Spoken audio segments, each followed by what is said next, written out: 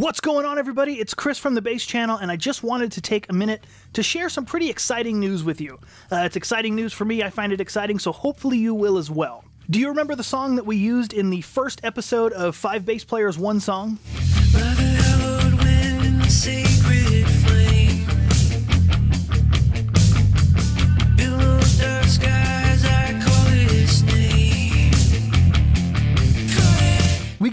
Bit of good feedback on that song when that episode first came out, and now I'm pleased to announce that the album is done, and I was fortunate enough to be able to play bass on every song. So throughout the video, I'm just going to give you a preview of a couple of my favorite tracks from the album, and if you like what you hear, it would mean a lot to me if you followed the link down below to Kickstarter and pre-ordered the album. You can get it as a digital download, as a digital download plus vinyl, or a digital download plus vinyl plus cassette. I was really honored to get the invite to play on all 10 songs, and uh, I have to make a confession to you. This is not only my first full length feature uh, playing bass, but I only started playing bass because of the bass channel. Drums are my first language, uh, then I moved on to guitar, and now I'm surrounded by basses. I have more basses than anything else. So it's still my newest instrument. I'm about four years in. Uh, I've been playing bass as long as the bass channel has been around. So I was really excited to be able to get the call to do this. As you're probably aware at this point, I am quite a massive Metallica fan, and uh, I discovered Clint and Ethan's podcast, Metal Up Your Podcast, about three years ago. I quickly became a fan. I quickly became a Patreon supporter, and Lunar Satan was actually something that was born on that show. Uh, I remember listening in real time as it happened. It was on the Garage Inc. episode, and they were kind of joking about the lyrics to the Mercyful Fate medley, which, by the way, we did that video uh, as our collaborative Halloween cover.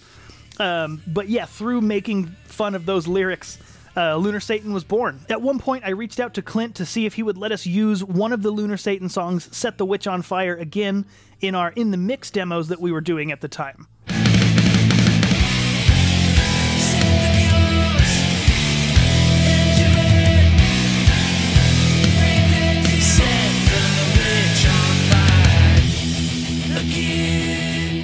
Forward a little bit, uh, I got the invite to play bass on the newest song at the time. That led to the second invite, and the third, and then the fourth to redo the songs that had already been done. And before you know it, all 10 songs are complete, and here we are now with it being released on vinyl very soon. So let's jump into a couple of these tracks. Again, like I mentioned, these are some of my favorites. Uh, the first one is called Blood Unto Blood. It's a drop C tune. I use the Warwick Corvette that we used in the And Bass for All video, or the And Justice for All with bass. Um, so let's check this out. Again, this is probably my favorite track on the record. Uh, I hope you dig it.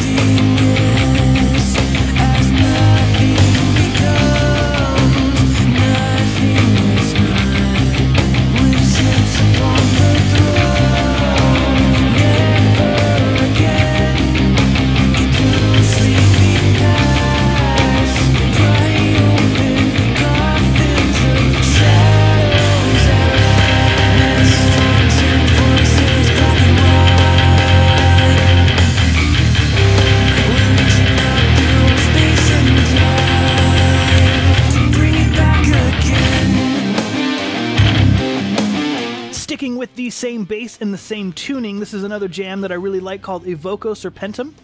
It's Latin for Wake the Snake. I don't know if I'm pronouncing it right, but uh, it's a really cool song. It's got a really cool riff. Uh, I hope you enjoy.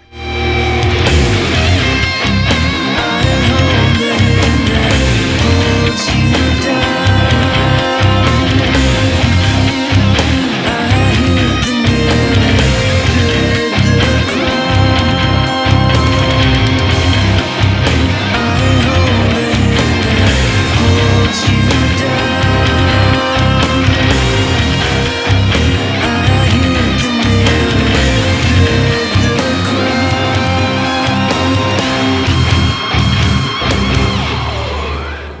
let's move on to the album's ballad, Come Dark Sun.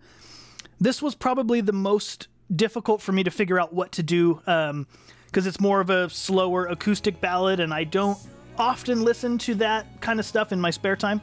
Uh, like I've mentioned before, I'm really good at heavy, I'm really good at fast. Uh, this is not heavy and it's not fast. So at the end of the day, I'm proud of what I did. I'm happy with what I did. Um, like I said, it probably took me the longest to figure out, but it's one of my favorite parts now.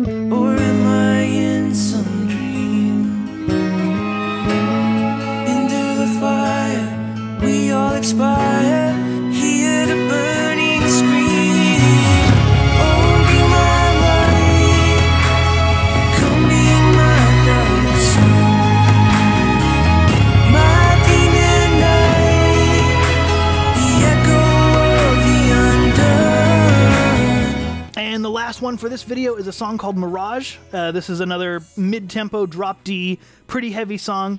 I used the Warwick double buck Corvette that I got from my friend Billy over at zZounds. Huge thank you to Billy at zZounds. I can honestly tell you that I would not have been able to get all the tones that I did without his generous support. So again, I'm very grateful to Billy over at zZounds. Uh, all of these songs, by the way, uh, it's various basses. It's predominantly the Warwick. I did use the Thunderbird on one but all of them are going through the Darkglass Microtubes X Ultra. Obviously, every track has a little bit of a different setting to help best suit that song, but the Microtubes X Ultra was used on every track. Most tracks feature the Warwick bass. There was one that featured the Thunderbird. But anyway, I'm rambling. Let's move on to the final preview of Mirage.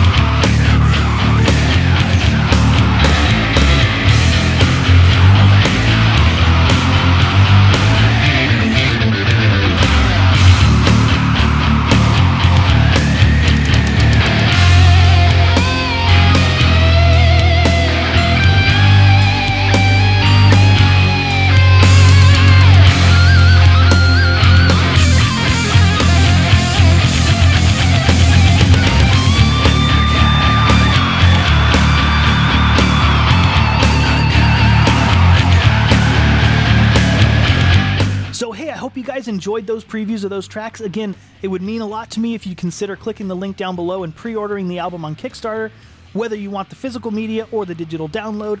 The digital download comes out December 24th, and the physical media, if I'm not mistaken, ships sometime around late January, early February. And like I said before, I'm extremely grateful to be a part of this project. A huge thank you to Clint and Ethan from Metal Up Your Podcast for letting me be a part of the project. And if you do want to hear more of their podcast, you can click right here, subscribe to their YouTube channel, and find them wherever you find podcasts. If you're somehow not subscribed to us and watching this video, you can subscribe to us here couple other things down here, all the general YouTube stuff. So that just about does it for now. Again, thank you guys for sticking around with me. Uh, hope you enjoy the album if you do pre order it, and we will see you next week.